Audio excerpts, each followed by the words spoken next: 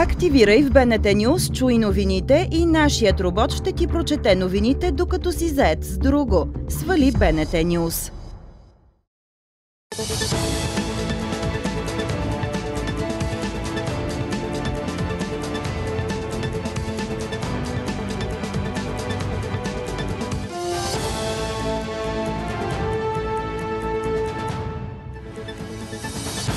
Добър вечер с късните новини по света и у нас. Аз съм Галя Кречовска.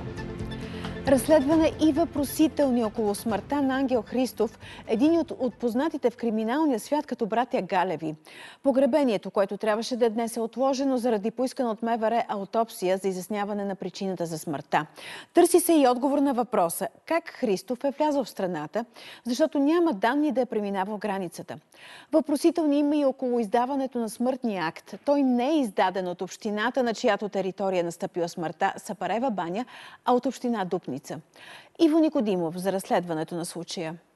Мистерията около прибирането в България и смъртта на единия от двамата така наречени братя Галеви става все по-голема. Според местния свещеник Ангел Христов е починал в дома си на 2 юни вечерта. Бех като попарен, като ми се каза, че е починал е, Ангел Христов и то от неговото семейство. И го е, приемах тъжна вест какво се прави. Просто не, не, човек да не може да повярва. От семейството ми се обадиха.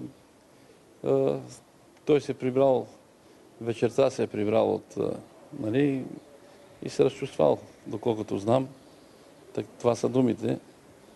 И е получил инфаркт. Официалните документи, които вече са доказателства по разследването, обаче говорят друго, че смъртта е настъпила часове по-късно. Има съобщение за смърт, което е на 3 юни сутринта в 8 часа е направено.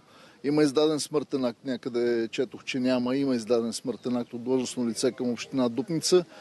Така че ако не беше се намесила полицията в случая, ще, ще да приключи погребението. На този етап няма отговор на въпроса защо, ако Ангел Христов е починал в дома си в Ресилово, където е и неговата регистрация по постоянен адрес, смъртният акт е издаден от съседната община Дупница. От общинската администрация днес отказаха да отговорят на въпросите ни с мотива, че е почивен ден. Кметицата на село Ресилово, което е в община Сепарева баня, пък разбрала за смъртта на Христов късно с нощи, когато била питана по телефона какво знае. Освен, че имат постоянен адрес тук в населеното място и че са били извън България, нищо друго. Може да има някой, който да поддържа самия обект жилищен, но като цяло не съм виждала собствениците на, на имота. Аз съм ги виждала само на снимка тези лица. На живо не съм ги виждала никога. Така че може и да не мога да го позная, дори и да съм го видяла. Оказа се най-много за братя Галеви през последните 11 години знаят не институциите, които ги издирват, а местния свещеник. Ние сме си запазили така приятелството, като нали, те като напуснаха България, пак се чувахме, изпращаха поздрави.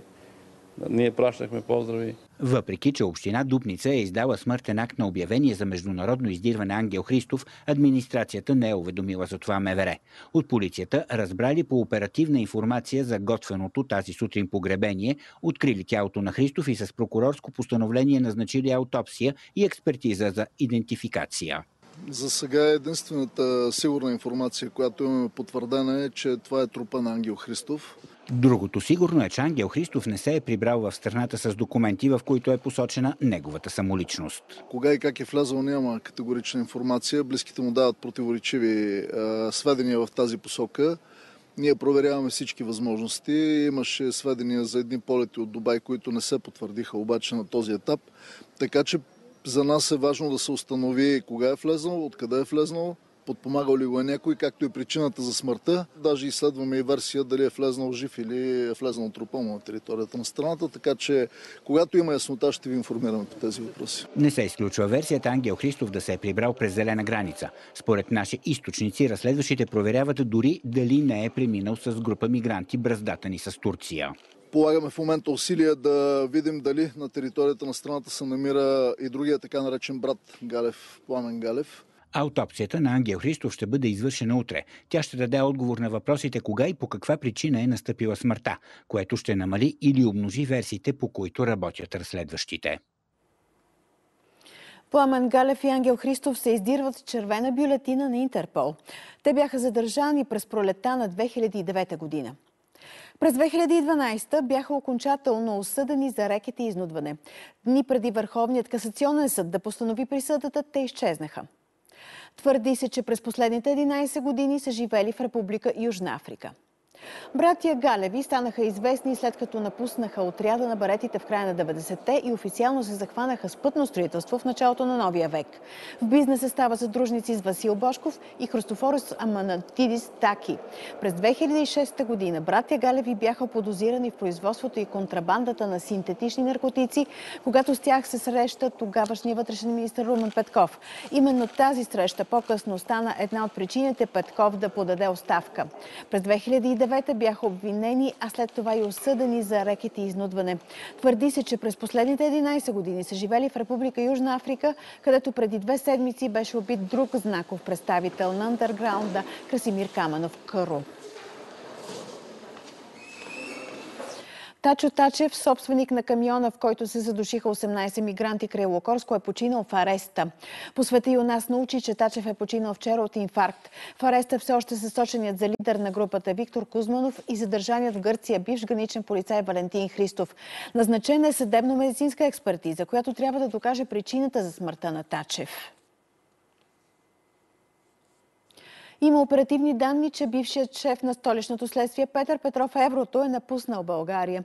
Това е станало през Турция, откъдето е достигнал до Обединените арабски емирства. Той е взел и детето си. Това научи по света и у нас от свои източници. В момента се проверява дали данните отговарят на действителността и как Петров е извел детето от страната безпълномощно от майка му. Тези данни не са категорични, по-скоро са оперативни данни, така че изследваме всички възможни местонахождения и на този герой, ще го нарека. Обилните валежи в Монтана и Бърковица през последното денонощие наводниха пътища и домове. Частично бедствено положение, обявено в общините Бърковица и Георги Дамяново, където валежите са били най-силни, има отнесени настилки от улици и наводнени дворове. Десетки къщи в селата Ребърково и Люти Дол са наводнени, а няколко улици са почти напълно разрушени. За около 30 минути приливната вълна достигала около 2 метра. В Ребърково останаха без ток и вода заради отнесени от водата няколко електрически електрически стълба и скъсан водопровод. Водната стихия заля и международния път е 79 в участъка при Люти дол, но движението там вече е възстановено. Протести в защита на Алексей Навални в София, Варна и Бургас. Един от най-големите критици на Кремъл е заплашен от ново дело, което може да удължи присъдата му с повече от 30 години. Делото е насрочено за вторник, а днес, когато е рожденият ден на Навални, хора от Сдружението за свободна Русия излязоха на знакови български улици, за да поискат неговата свобода. От Сдружението напомниха, че в България все още има руснаци, на които Държавната агенция по беженците отказва да даде политическо убежище с мотива, че за тях няма опасност в Русия. На третия си рожден ден за трешетките, руският опозиционер заяви, че запазва присъствие на духа, въпреки 16-то му вкарване в карцер. Очевидно бих предпочел да не се будя в тази дупка, а да закуся с семейството си, да получа целувка от децата, да отворя подаръците и да кажа «Ао, точно за това си мечтаех», написа Навални. В същото време той добавя, че не може да има социален прогрес и по-добро бъдеще без хора, които са готови да платят цената за правото да имат собствени убеждения. Половин милион поляци демонстрираха във Варшава срещу правителството. Това е най-масовият протест в страната след падането на комунизма през 1989 Инициатор е лидерът на основната опозиционна сила Доналд Туск. Лозунгите са срещу поскъпването на живота, измамите и лъжите, както и в подкрепа на демокрацията, свободните избори и Евросъюза. Недоволството е насочено срещу право и справедливост на Ярослав Качински и техните съюзници, които управлява страната от 8 години. В шествието се включи и Нобеловият лауреат от 83-та Лек Валенста.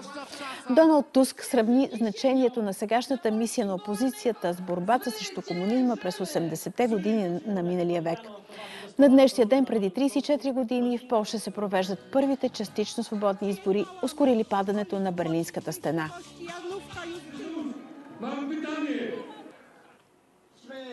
Гражна сигнализация, свързана с промяна в електронната блокировка, е най-вероятната причина за тежката железопътна катастрофа на три влака в Индия, съобщиха властите.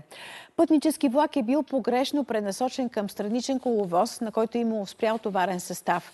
При последвалия удар пътнически вагони са дерайлирали и се прязали един в друг на срещно идващ пътнически влак по основното трасе. Броят на жертвите при трагедията беше намален до 275 заради два пъти преброени тела. От 1175 настанени болница вече са изписани близо 800, но някои семейства продължават да търсят своите близки. У нас традиционният бал на жълтата роза с нова благотворителна кауза. Събраните средства ще отидат за купуване на инструменти за Националното музикално училище Любомир Пипков. За да се съберат още пари, гостите, общественици, политици и дипломати надаваха и на специален търг. Първият разигран предмет, картината Девойка с ябълки, беше оценена на 6000 лева. А тениска на Гунди стигна цена от 2800 лева. На миналогодишното издание бяха събрани 80 000 лева, които отидоха за киберлаборатория история в Техническия университет.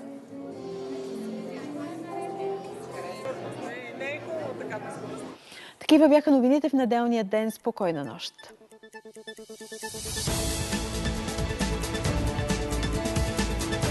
Избери в БНТ Нюс за кои новини да получаваш нотификация и колко често.